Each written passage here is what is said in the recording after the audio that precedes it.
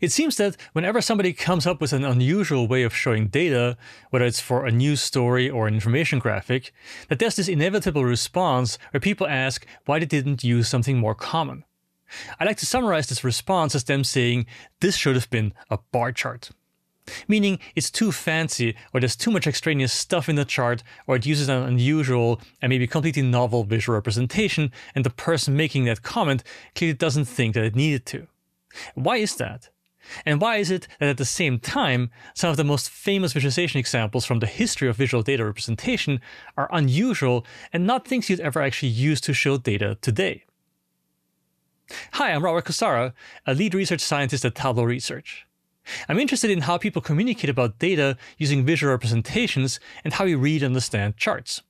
In this talk, I want to look at some unusual charts and discuss how they can be a good idea and what pitfalls there might be.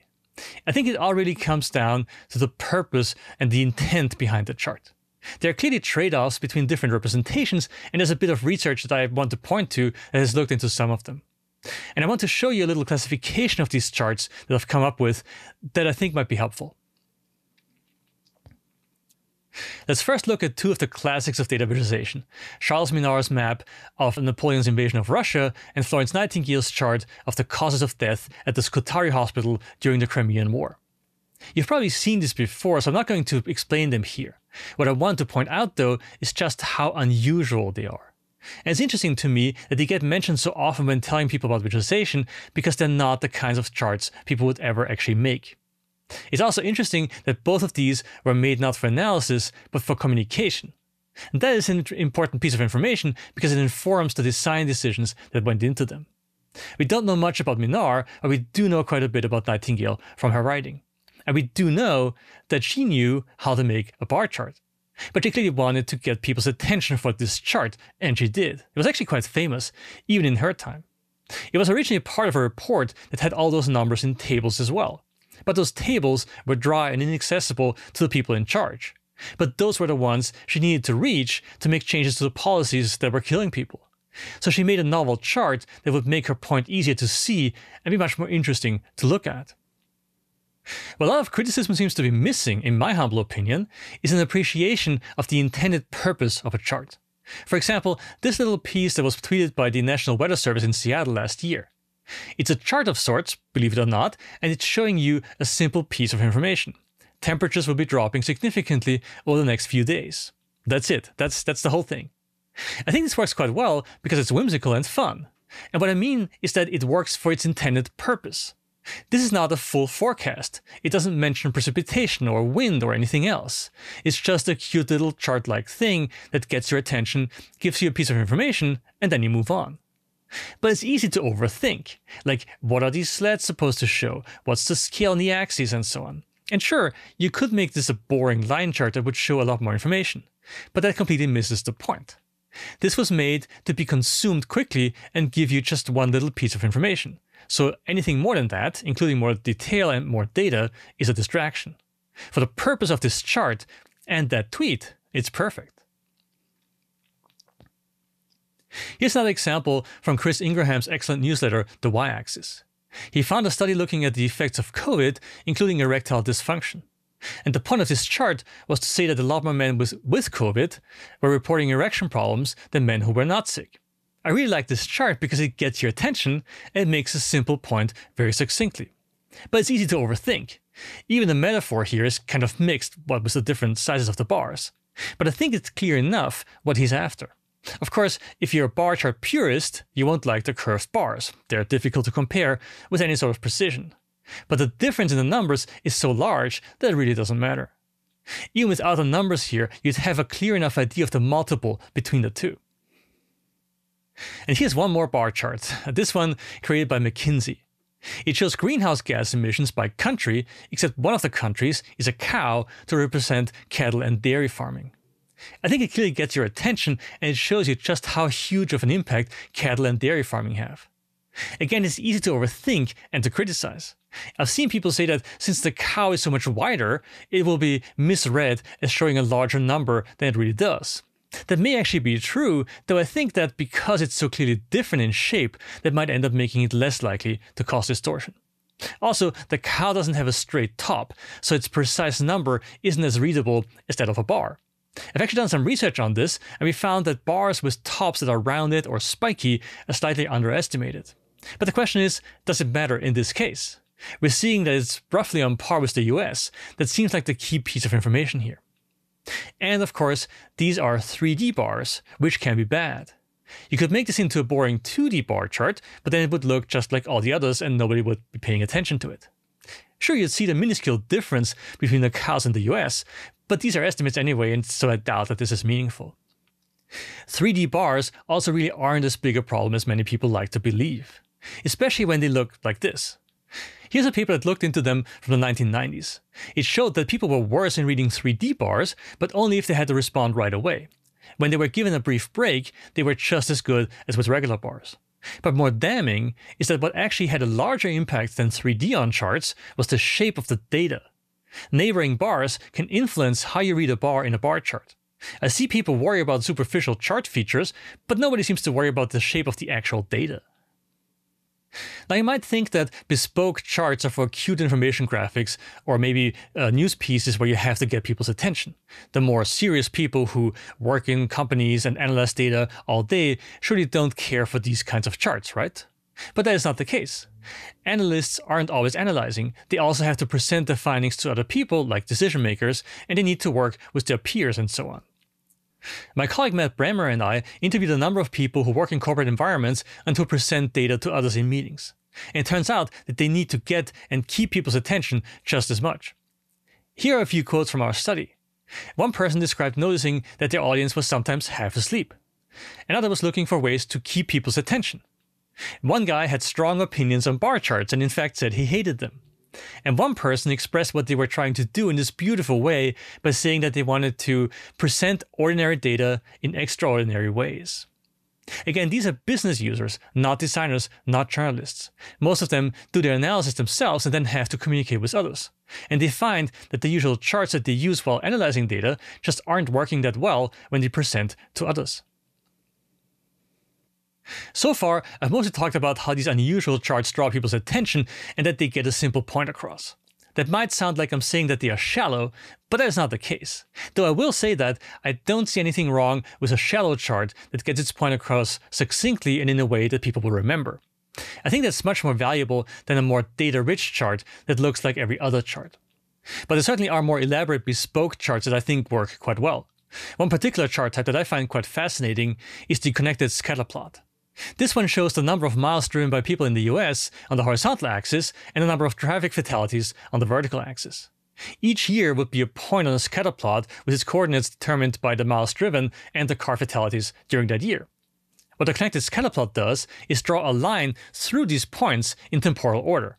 That sounds simple, but it transforms what would be a rather boring cloud of points into a much more interesting shape. You can now see times when interesting things happened, like when major laws were passed, so the line stopped going up and, and stopped actually eventually going down. You also see loops. These are unusual because they're not possible in a line chart where time is on the horizontal axis. But here, time goes along the line, and both values can go up or down, so you can end up with a loop. There's more to be said about this technique, and I did a study on it with uh, Steve Franconeri and Steve Haroz a few years ago. What I find fascinating is that it's such a fickle technique. Most of the time, it doesn't actually work. In fact, I've never been able to use it for my own data. I just ended up with a big hairball. But when it works, it's quite amazing. A somewhat simpler version of it is this example which shows GDP and emissions data for a number of countries for two different years. Granted, there are only two points for each country, but they are connected, so this is technically a connected scatterplot. While this won't have any loops, it does have one interesting feature of the connected scatter plot, which is the direction and slope of the line. We found that people were actually surprisingly good at reading and understanding what the different directions meant. This is also basically the 2D version of this type of dumbbell chart, which I also think is quite effective. It shows vaccine uptake here, comparing COVID to earlier vaccines. What this chart emphasizes is the difference between the numbers, and sometimes you see that there are inversions where a few categories or countries have the values flipped. Not in this case, though. But all of these charts can be effective both in getting people's attention and then providing them with quite a bit of information to explore. The connected scatterplot in particular, when it works, also lends itself to annotation. Charts don't have to be static, of course, but animated charts can be a mixed bag. This one from the New York Times works very well though. It shows how black and white boys from different income groups move up or down as they grow up. Blue dots represent black boys here and yellow dots white boys. The obvious pattern is that while white boys move up, black boys tend to move down the ladder. This is easy to state in a sentence, but it's much more impactful when you can see it happen. And this is what this piece does really well. And it shows not just the motion, but also the distribution of the two races in the income groups at the end. These little strip charts are actually quite effective because we're able to read the distribution like this with a good amount of accuracy. This is a very unusual way of showing data, but I think it's quite effective. But it does require a lot of effort to make, and it is very specific to this kind of data. My examples so far have all been positive, or at least I think they are, but using unusual charts isn't without its pitfalls. There is safety in the familiar in that you can't really go wrong. To borrow a phrase from IT, nobody ever got fired for making a bar chart. So I'll just show one example here, this chart of average female heights for a few different countries. I like this example because it covers a fairly large category of information graphics that use shapes or images to represent data. There are two problems here with how the data is shown, and then there's also the choice of color scheme. But purely from the perspective of the data being represented here, the problem with using human shapes, or really any shapes, is that you typically can't scale them just in one dimension because they would end up looking stretched. So you have to scale them in both dimensions, which then exaggerates the differences. This is different from the cow chart, where the cow was the outlier and the only shape that was not a bar. Here, they're all shapes and they all get scaled in both dimensions. The second problem is that the vertical axis doesn't start at zero. That leads to an exaggeration of the differences here, since they really aren't that large. And together with the sizing of the shapes, this just makes the Indian woman look comically small in relation to the others. Now the vertical axis doesn't always have to start at zero, and there are reasons for either choice. But when you're showing data as complete human figures, it's basically impossible to not see them as pictures of people, which is why the difference in size is so extreme. If they had cut them off to show only the torsos and heads, that might have been different. It's not like you can't make mistakes when using a bar chart, and starting the vertical axis at a value other than zero is one possible mistake. But it's a lot less likely. But it's much easier to do harm when creating unusual charts since you can't rely on experience or research to inform what you're doing, or at least not nearly as much. I like to think of the charts I'm talking about here in terms of two properties. One is how familiar is the average person with this chart. There are charts everybody has at least seen before and will understand instantly. There are charts that one can recognize, but that take a little bit more effort. And then there are other ones that are entirely novel that nobody has ever seen before. For familiar charts, I'm going to go with the bar chart here as my example, and we might argue how familiar some of the other chart types might be. In the middle of this axis, we meet the two-point connected scatter plot and the dumbbell chart. Finally, on the unknown end, I'd put the animated black and white boys piece. It might be easy to understand what's going on because it's designed very well, but as a chart type, this is a really unusual way of showing this kind of data. The second property is how specific the chart is to its use and data. We start on the left here, again with entirely independent charts like bar charts and line charts that work for almost any data. Then there's what I would call limited use charts that are more specific in their use, sometimes in terms of their topic, sometimes in the shape of the data that it has to have to work. The connected scatter plot would fit here, I think. And then there are entirely bespoke charts that really only work in one context, and this is where I would place the temperature slide. Neither generic nor bespoke is good or bad, it's just a matter of what you're after. These two criteria are somewhat independent, but not entirely. It would be tempting to put them on a two-dimensional grid here, but I don't think that entirely makes sense. But a chart can be familiar and bespoke, like this bar chart of data from a study about how long people like to be hugged, which I think is pure genius, by the way. The connected scatter plot probably falls in the middle of both of these charts. And while the NWS temperature slide is clearly bespoke, I have a hard time deciding where I would put it on the familiarity scale. I think it's quite familiar, but I would be curious to see how people would react to it in a study. Before I close, I want to bring up one more topic that I think is important, but has largely been beaten out of the discussion of charts and visualization. And that is fun. Having some fun with a chart goes a long way to getting people's attention and standing a chance of being remembered. But anything that would add fun to a chart is largely looked down on, whether it's a cow in your bar chart, sleds sliding down your temperature chart, or a pie chart showing data about pies. We seem to think that if something is fun, it can't also be serious, or you feel the need to strip every chart down to its bare foundations and that way naturally get rid of all of the fun bits as well. But making something fun doesn't have to mean making it silly, and fun can help get people's attention and be sticky. You remember something fun much more than something that's boring and austere.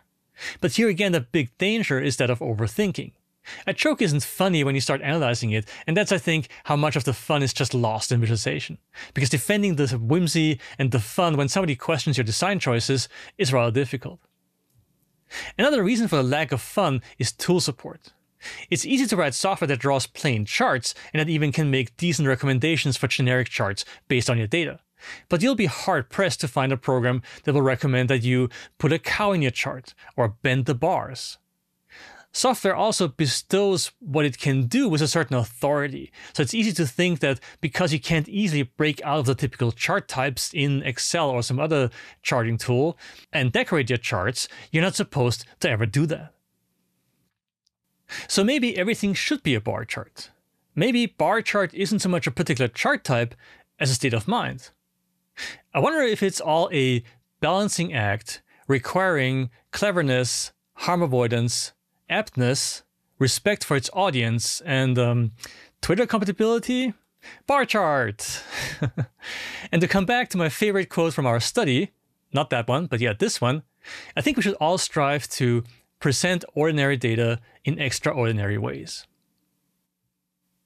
You may have noticed the little numbers in square brackets throughout this talk at the, at the, bottom there. These refer to my sources for examples and papers. I've created a little companion webpage where you can find those links, plus a few more to other relevant resources. And if you want to connect or see more of what I do, here are a few more places to find me and get in touch. Thanks for watching, and take care.